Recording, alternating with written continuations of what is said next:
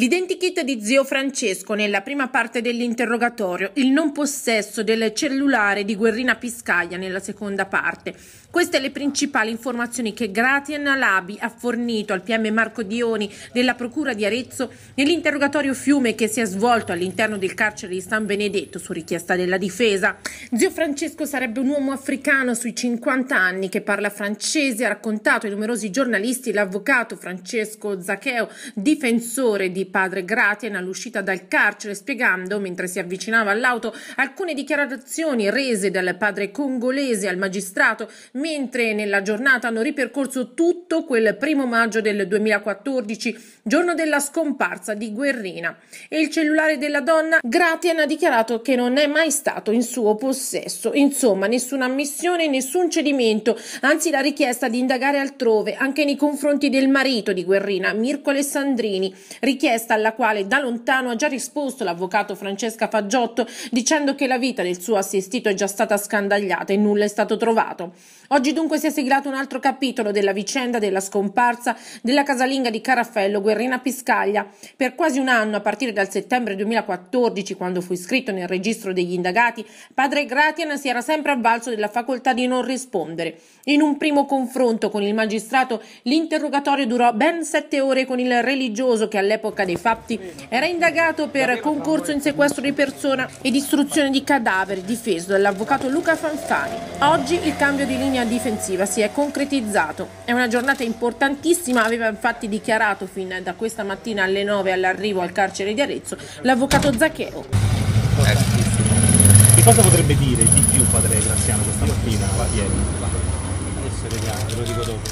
Che cosa si aspetta però lei? Ci potrebbe essere una svolta in questo caso? Vediamo. Buongiorno. Buongiorno. Se poi si rivelerà davvero una giornata importante lo deciderà il PM Marco Dioni che a questo punto verosimilmente chiuderà in tempi brevi le indagini e chiederà il rinvio a giudizio. Dal canto suo l'avvocato difensore del padre congolese ha annunciato che lunedì depositerà l'istanza per ottenere gli arresti domiciliari. Marco Dioni dovrebbe uscire a secondi anche l'avvocato Francesco Zaccheo, eccolo, ce l'abbiamo provato, siamo in diretta, come è andata? La batteria. Che cosa ha detto padre Graziano? Ha chiarito i punti che dovevo chiarire. Nello specifico ci riveli qualcosa? Ha parlato di zio Francesco. Cosa ha detto di zio Francesco? Ah, ha chiarito i punti. Ha fornito lui ha, un for- identikit? ha fornito un identikit. Come l'avrebbe raccontato? Chi sarebbe? Sarebbe un uomo bianco di colore? Chi sarebbe? Un uomo del nord Africa. Quanti anni? Più bassi i microfoni, più bassi i microfoni. Quindi ha dato degli spunti per individuarlo, Sì, per, sì, far- per basso farlo trovare?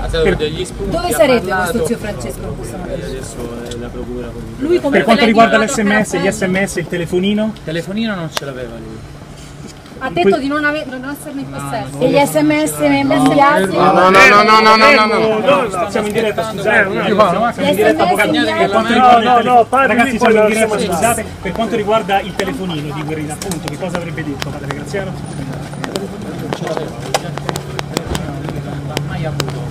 Qual erano i loro rapporti? Non l'avrà chiariti, cioè qual era il rapporto tra padre Graziano e Guerrina? Il rapporto era veramente un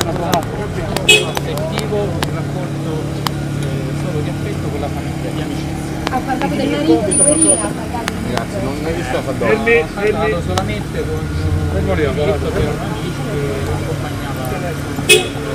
Però Ma ha qualche qualcun altro? di lui, ha gettato qualche No, no, no. Ha coinvolto qualcun altro? Ha riparlato di esso. Ragazzi, non gli state appiccicati però. Questa cosa parlato. Se lui stava fermo. C'è c'è un sms delle 13.46 che colloca, no, sembra Guerrina in canonica, sono l'ultima persona che l'avrebbe visto. Eccomi, eccomi, arrivo. L'ultima persona che l'avrebbe visto, l'sms delle 13.46 insomma, Lui quindi finisce di pranzare alle 13.45, 14, quindi esce alle 2 dalla canonica. Non- la guerrina non è mai andata in canonica Secondo da lei questo sola. interrogatorio ha convinto il Quindi- PM? Adesso presenterò l'istanza dei domiciliari la prossima settimana. ci hanno raccontato però di momenti di grande tensione tra Padre Graziano e il pubblico ministero. No, assolutamente no. Padre Graziano è stato serenissimo, siamo stati quasi 8 ore, dalle 9 stamattina, 9 e mezzo, quindi tutto tranquillo. Non si è mai contraddetto, non si è mai contraddetto no, padre Graziano. assolutamente no. La procura stato- chiederà un giudizio immediato? Eh, questo non lo so, vedremo. Adesso vediamo il quadro della procura. Quali altri punti avete toccato oggi? Tanti, tanti, tanti. Se tanti. ci può... La vostra Sto prossima scappando. mossa? Adesso valuteremo, presenteremo l'istanza lunedì. Va bene, scusate, Grazie, grazie Gentilissimo. avvocato.